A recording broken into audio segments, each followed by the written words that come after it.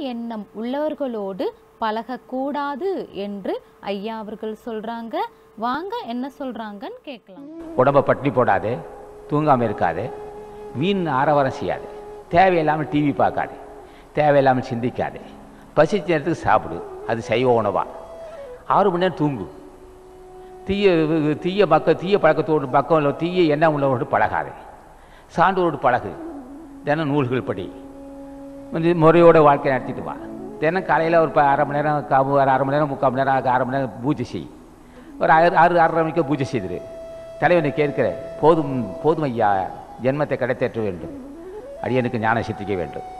நீ தான் அருள் செய்யணும்னு கேட்குறேன். அப்போ என்னாகும் இப்படியே கேட்க கேட்க அது போக்குள்ளேயே சென்று காமதேகம் நீங்கியது. பைய பைய கொஞ்சம் கொஞ்சம் சிறிது சிறிதாக காமதேகம் நீங்கும்.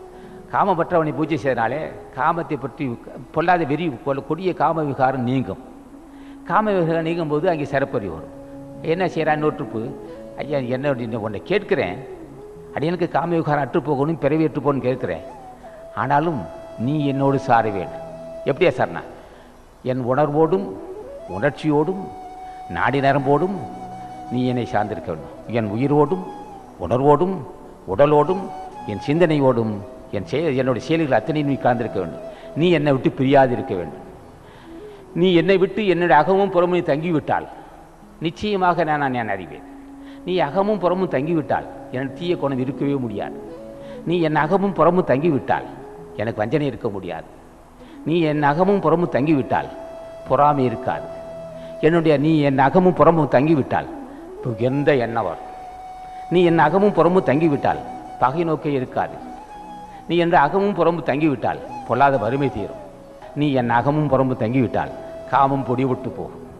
ஆக நீ உன்னை நீ வந்து உன்னை வணங்குவதை விட நீ என் சிந்தையில் சார்ந்திருக்க வேண்டும். என் உணர்வோடும் உணர்ச்சியோடும் நாடி நம்ம ஊடி இருக்க வேண்டும். ஆக நீ பூர்ணமாக சார்ந்திருக்க வேண்டும். உன்னால் முடியும். நீ எதையும் சார்ந்திருக்க முடியும். அடியன் ஒரு மூச்சு காட்டோடு கலந்து விட வேண்டும். பிரணம் செய்வார்கள். அடியின் மூச்சு காட்டோடு கலந்து விட வேண்டும் கேட்பார்கள். பூஜை செய்யும்போது அடியோடைய அகமும் புறம் இருக்க நான் மூச்சு காட்டு ஒரு நாலு ஒன்றுக்கு இருபத்தோராயிரத்தி அறநூறு மாதிரி மூச்சு காட்டு வந்து போகும். என்னுடைய ஆன்மாவில் கலக்க வேண்டும். மூச்சு காட்டோடு கலந்து நீ இரண்டரை கலந்து விட்டால் என் ஜென்மத்தை கலை திட்டிக்கூடாது கேட்க வேண்டிய கேள்வி இதுதான். நீ அது கூட இது கூட என்று கேட்பதை விட நீ என்னை சார வேண்டும். நீ பாவியாச்சு என்ன? பாவிதான். கேட்கிறேன் உன்னை கேள்வி. நீ என்னை சார வேண்டும். நீ என்னை சார்ந்து விட்டால் எனக்கு குறை உண்டோ? என்னை சார்ந்து விட்டால் எனக்கு தீய குணம் வருமோ? என்னை சார்ந்து விட்டால் உயர்ந்த லட்சியம் அடைவேன் நான். ஆகவே நீ என்னை சார வேண்டும். எனக்கு அந்த பக்குவமும் அறிவும் என் நான் பாவி என்று தெரிந்து கொண்டேன். நீ புண்ணியவான் உன்னை கேட்கிறேன். நீ கொடைய வள்ளல். எதையும் ஒன்று தரக்கூடிய வல்லமை உனக்கு உண்டு? ஆசானது அருளுரைகளை தொடர்ந்து கேட்க அரங்கர் டிவிக்கு லைக் பண்ணுங்க சப்ஸ்கிரைப் பண்ணுங்க. மறக்காம பெல் பட்டனையும் கிளிக் பண்ணுங்க.